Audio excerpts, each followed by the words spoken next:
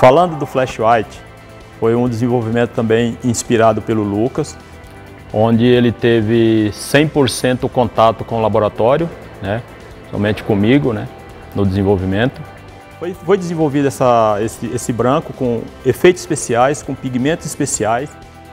Então eu teria que unir partícula, tonalidade é, com acetinado.